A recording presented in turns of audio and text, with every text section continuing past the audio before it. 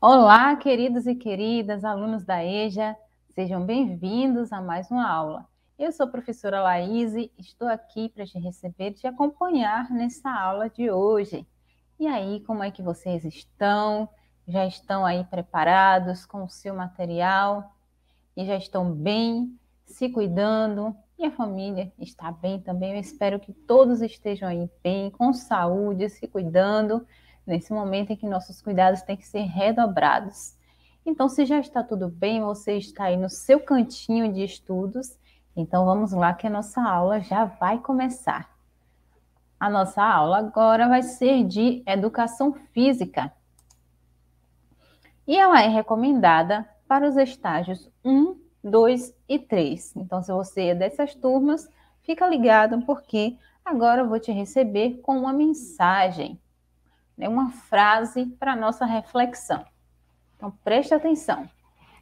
Não confunda derrotas com fracasso e nem vitórias com sucesso. Na vida de um campeão, sempre haverá algumas derrotas. Assim como na vida de um perdedor, sempre haverá vitórias. A diferença é que, enquanto os campeões crescem nas derrotas, os perdedores se acomodam nas vitórias. Roberto Chiacinque.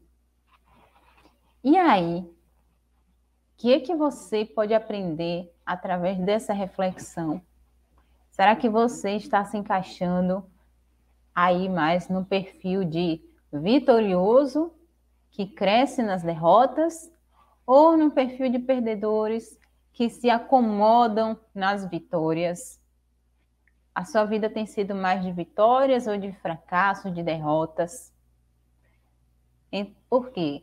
O fracasso não é só as derrotas, né? As derrotas acontecem mesmo na vida daqueles que são vitoriosos. Mas quando a derrota acontece e você aprende com ela, cresce com ela, quer dizer então que você é uma pessoa vitoriosa, um campeão.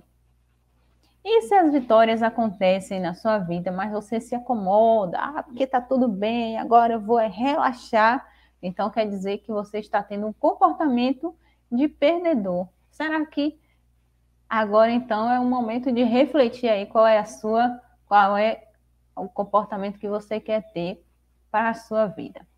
A partir disso, agora vamos para as nossas questões iniciais, que nós vamos começar a pensar para, é, para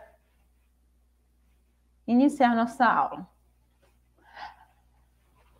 O que você sabe sobre esportes? Pratica ou gosta de praticar algum esporte?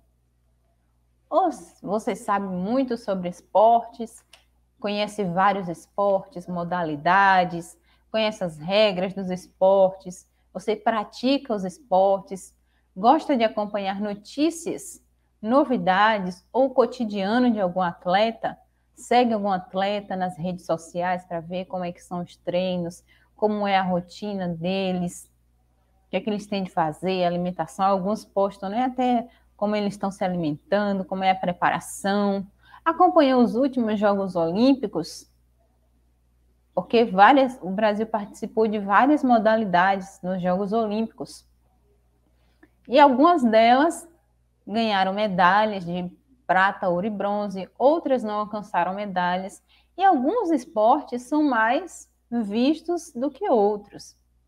Porém, hoje a nossa aula vai falar de um lado não tão interessante dos esportes, porque muitas vezes acontece de terem problemas nos esportes. Então, quem acompanha esse mundo dos esportes já está por dentro de algumas coisas que nós vamos falar hoje. Mas se você não acompanha, hoje você vai vai entender, vai conhecer alguns problemas que acontecem no esporte. E aí por isso que vem o título dessa aula. Será que o esporte é para todos? Será que todas as pessoas que entram no esporte podem virar atletas assim facilmente? Todos são respeitados? de, de igual para igual? Essa, esse é o questionamento que vamos que vamos refletir na nossa aula de hoje. Para começar, os esportes são práticas saudáveis e organizadas de atividades físicas, individuais ou coletivas. Então, não é toda atividade física que vira um esporte. Para isso, ela precisa ser organizada, precisa ter regras, para então se tornar um esporte. Por isso que existem as brincadeiras, existem os jogos, mas que não são esportes. Para ser um esporte, precisa ter as suas regras organizadas. É uma prática de atividade física organizada. E aí ela pode ser individual ou pode ser coletiva. E, esses, e essas práticas esportivas já existem há muito tempo, como mostrado aí na imagem o futebol, que já existe há séculos. E pode ser individual, porque existem esportes que são praticados de forma individual, né? A pessoa, para conseguir ali o objetivo do, do jogo, do esporte, trabalha de forma individual. Pode ser de tiro, por exemplo, arremesso de peso, ela trabalha ali de forma individual. O esporte pode ser praticado com o objetivo de recreação, manutenção do condicionamento corporal e da saúde, ou então de competição. Então, não é porque você, porque o esporte é organizado, que você não pode praticá-lo. Você pode praticá-lo, mesmo que seja só para se divertir, que é no objetivo de recreação, para manutenção do condicionamento corporal, da saúde, ou então para a competição. Nesse caso aí da competição, é que existem as federações, é, as confederações né, nacionais internacionais, que vão ser os órgãos que regulamentam a participação dos, das pessoas e dos times aí nas competições. Que a competição aí precisa ter uma as regras de participação, mais, mais bem estruturadas. Porém, ao longo dos anos, ele tem carregado consigo alguns problemas, principalmente nessa área competitiva, né? Quando se fala em recreação e manutenção do condicionamento corporal, cada pessoa vai ter as suas, é, os seus objetivos. Porém, quando o objetivo é a competição, aí entram outros interesses. Entram interesses financeiros, interesses sociais, né, de querer ser visto, de querer alcançar um certo status social a partir do esporte. E aí, nesse caso, o, o esporte vem carregando consigo alguns problemas que são os que nós vamos conhecer hoje na nossa aula. Então, não é porque ele é uma prática saudável de atividade física que é um paraíso. O esporte não é um paraíso, ele tem os seus problemas que nós vamos ver. O primeiro deles é o doping. A busca constante pela perfeição, a quebra dos limites e dos recordes leva os atletas a buscarem soluções artificiais para aumentar o seu rendimento. Então, o atleta está ali trabalhando, ele quer estar sempre no auge, quer conquistar novos recordes, quer se manter ali. Às vezes ele sabe que é, não, não se dedicou bem durante aquele mês, durante aquela semana, ou foi para balada e não dormiu direito, enfim, várias coisas que aconteceram. E o seu organismo não está preparado para aquela competição que vai acontecer. Ou ele quer quebrar um recorde que está ali naquele esporte. Isso pode levar esses atletas a buscarem essas soluções. Que o seu organismo naturalmente não consegue produzir, né? Às vezes pode estar inflamando o músculo, causando uma lesão. E aí, essas soluções são artificiais, né? O uso, o uso de substâncias artificiais, de remédios que aumentam esse seu, o seu rendimento. Porém, aquilo ali não é o que ele realmente é capaz de fazer. Ou correr tão rápido, ou ter tanta força. Talvez se fosse sem a ação dos remédios, ao fazer aquilo ali, ele estaria se lesionando, se prejudicando. O doping é o uso de substâncias que podem alterar a resposta do corpo aos estímulos. Essas substâncias provocam maior crescimento muscular, resistência física ou melhor rendimento do que o atleta teria naturalmente. Então, são essas substâncias que podem levar o atleta a conseguir o primeiro lugar, a chegar primeiro, a carregar mais peso, a ganhar uma luta, a conseguir correr no campo os 90 minutos, que ele talvez não conseguiria se estivesse nas suas condições naturais. E aí, esse é um, um recurso que é prejudicial para ele, mas e que também é proibido, justamente porque os atletas estão ali para mostrar o que eles têm, ou melhor, o que eles podem fazer com o seu próprio com as suas próprias forças, com as suas próprias habilidades naturais e que foram ali desenvolvidas. Seria injusto ter alguém utilizando de uma substância enquanto o outro está ali só com as suas habilidades naturais. E aí esse é um problema que acontece no esporte e que nós podemos conhecer hoje que, que acontece tanto em ambientes de competição como fora. Por exemplo, algumas pessoas que praticam musculação, aí quer um resultado mais rápido, vai utilizar, pode ser que utilize de substâncias para ter o crescimento mais rápido dos seus músculos. Isso é bastante comum, bastante falado aí é, no, no senso comum, né? Nós ouvimos muito falar no uso de anabolizantes, de, de bombas, e que são, algumas são até prejudiciais para a saúde.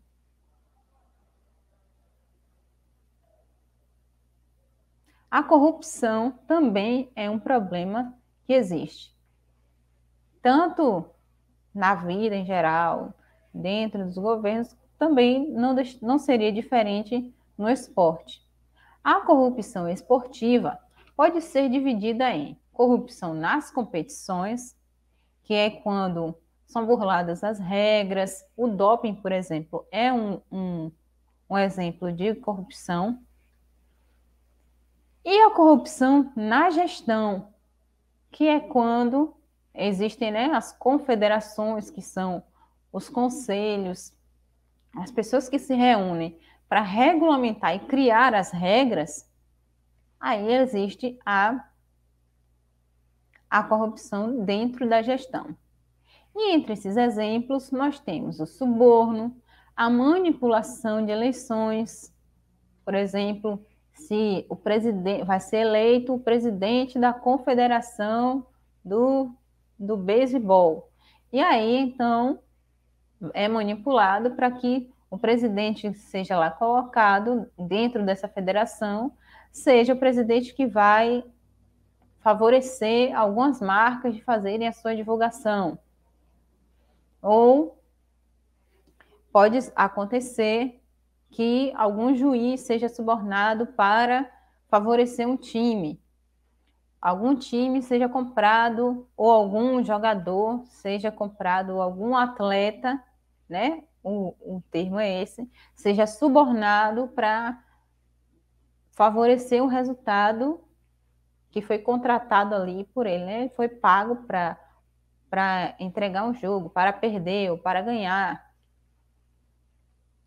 Assim que, que acontece a corrupção. O maior caso de corrupção, ou um dos maiores casos de corrupção da história da FIFA, a Federação Internacional de Futebol, envolveu o ex-presidente da CBF, que é da Confederação Brasileira de Futebol, Ricardo Teixeira. Esse, esse caso já foi publicado nos jornais e ele foi afastado do futebol justamente por, e foi investigado por supostamente estar favorecendo, fazendo do futebol brasileiro uma, uma espécie de negócio e supostamente favorecendo com que as, a sede das, das, das Copas do Mundo fosse que a, a eleição da sede das Copas do Mundo fosse manipulada. E aí essas foram as, as investigações que estavam ocorrendo, dentre outras, de que ele tinha recebido esses, esses tipos de suborno. E aí, além disso, pode existir também outro tipo de corrupção, que, como eu já falei, é o, o caso do doping, que aí o atleta deixa de ser, de participar ali com as suas próprias habilidades e adianta os seus, os seus resultados com o uso de substâncias artificiais. A violência é outro problema que nós vemos frequentemente associada ao esporte.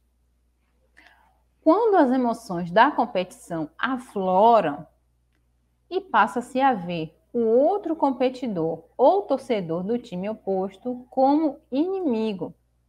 Olha só o que acontece. Eu torço para um time A e você torce para o time B. Isso não quer dizer que você e eu vamos ser inimigos. Isso quer dizer que eu prefiro o modo de jogar do time B, né, do time do meu time, a história do meu time, os jogadores do meu time, e você gosta do seu.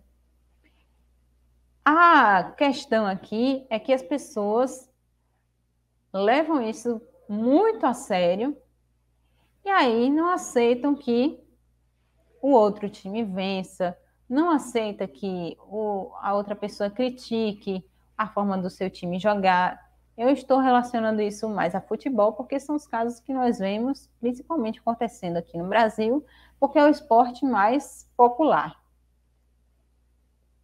Os tipos de violência envolvem todos os grupos: torcedores, jogadores, policiais e autoridades, os quais se envolvem com violência física, verbal e psicológica no esporte o bullying e a agressividade passaram a ser uma triste realidade do esporte. Tanto que, às vezes, em jogos que têm torcidas que são rivais, a, a, a expressão é essa, né? Torcidas rivais, mas parecem ser mais torcidas inimigas. Torcidas rivais, às vezes, a polícia tem que estar envolvida, aí um, uma, uma torcida não pode sentar no mesmo lugar que a outra está, tem que ter um distanciamento para que não haja as agressões e até morte de pessoas envolvidas. E aí, qual é a necessidade de ter toda essa violência envolvida em apenas a torcida por um time? E aí, depois, de que valeu? De que vale as pessoas se envolverem na agressão, na morte por um time, o time vai continuar jogando e aí a pessoa que se envolveu na violência vai, vai assistir de dentro da cadeia. Aí tá lá preso. Não tem sentido uma coisa dessa, né? Não tem sentido. Seja violência física, verbal ou psicológica, nós podemos sim ter aquela rivalidade saudável que é que é que é interessante de respeitar as diferenças que existem entre os outros times, entre outros tipos de esporte, e que vale a pena a gente motivar a diversidade. O racismo também é um problema muito frequente relacionado ao esporte. Tanto que nós vemos frequentemente ações e campanhas em combate ao racismo no esporte, como essa que está sendo mostrada aí no pelo time que foi feita pelo time Grêmio, né, um time de futebol, que diz: "Somos azuis, pretos e brancos, chega de racismo". Mas nós vemos que isso já existe há tanto tempo e continua sendo um problema. Onde será que está a raiz desse a raiz desse problema chamado racismo dentro do esporte? Nós percebemos então que não é de hoje. No passado, as práticas racistas no esporte abrangiam a exclusão de certas etnias da prática do esporte. Na aula sobre futebol, é, nós falamos que nós vimos que algumas pessoas, por exemplo, alguns times, quando foram construídos aqui, negros não podiam jogar. Não podiam jogar futebol, nem negros, nem índios. E outras pessoas de outras etnias não podiam jogar futebol, então eram excluídas. Sem, sem falar das mulheres, né? Não vou nem falar das mulheres aqui. Estamos falando de racismo. Os negros não podiam jogar futebol, eram proibidos. Então, no passado, o racismo se, se resumia a isso, era bem escancarado. Ah, não pode jogar. Atualmente, ele se revela através de práticas discriminatórias, xingamentos, sinais, que são feitos pela torcida ou pelos próprios jogadores durante o jogo. E olha o que a gente está vendo aqui. Isso é muito comum, principalmente nos, nos estádios estrangeiros, em jogos europeus, que, que é ofender os jogadores negros, comparando eles a macacos. Muitas vezes nós vemos isso aqui. E aí, nesse caso aqui, alguém deu, jogou uma banana, joga uma banana no, no, no jogador. E aí, onde é que está a raiz desse a raiz desse desse problema? Eu acredito que as pessoas estão expressando no campo aquilo que elas já vivem fora dele. E provavelmente estão ali no meio de uma multidão, não vão ser não vão ser acreditam que não vão ser identificadas e ainda tem o apoio de outras pessoas, porque não é uma pessoa só, às vezes é uma torcida inteira. E aí quer ofender a, o jogador do time oposto dessa forma. É, querendo menosprezá-lo pela sua aparência, pela sua etnia. E que, que é totalmente desprezível essa prática. E aí continuam sendo feitas as, as campanhas em combate ao racismo no esporte, mas na verdade o racismo tem que ser eliminado de toda a sociedade, de todas as áreas da sociedade. O esporte é apenas uma delas. A discriminação de gênero também existe. Existe, por exemplo, e aí agora eu trago um texto aqui de Bruno Freitas, que diz o seguinte: Existem julgamentos contra as mulheres que entram em campo para defender as seleções de futebol no mundo afora. E também há discriminação contra os homens que se dedicam à ginástica artística, por exemplo. Né? Então, são comentários de que certos esportes são para homens, outros são para mulheres. E aí, nesse caso, e essa imagem aqui mostra também o que, como é que as mulheres são sexualizadas. Por que é que o uniforme da, dos homens é a camiseta e o calção? E o uniforme das mulheres tem que ser um top e uma calcinha, os, com seu corpo todo exposto à mostra.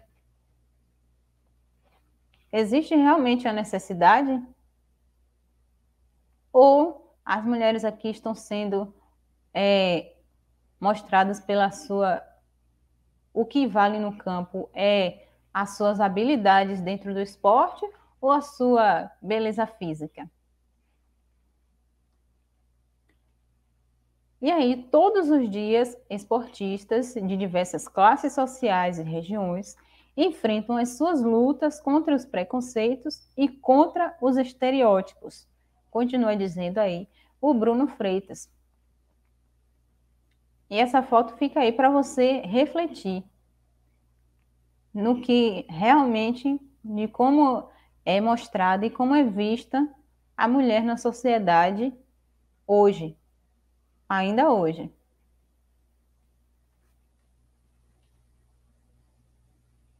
Então agora é com você.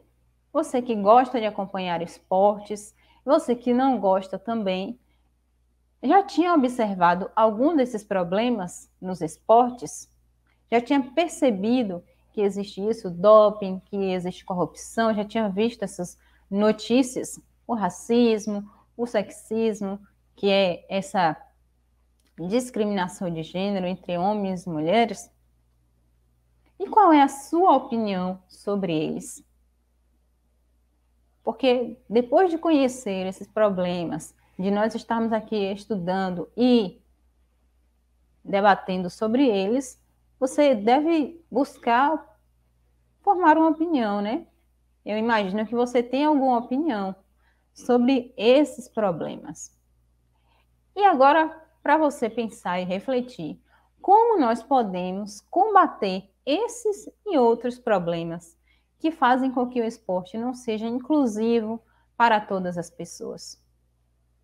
Porque imagina, olha uma menina que tem o sonho de ser jogadora de futebol, o quanto que ela tem que enfrentar para chegar nesse lugar. Ou o quanto que as jogadoras que hoje já são, né? Hoje já é mais fácil, mas o quanto que as, as meninas que quiseram ser jogadoras, muitas não conseguiram porque houve tanta dificuldade, porque era um esporte para homem, não, não tinha campeonato, não tinha time de base. Isso só um exemplo de um esporte. E quantos outros esportes?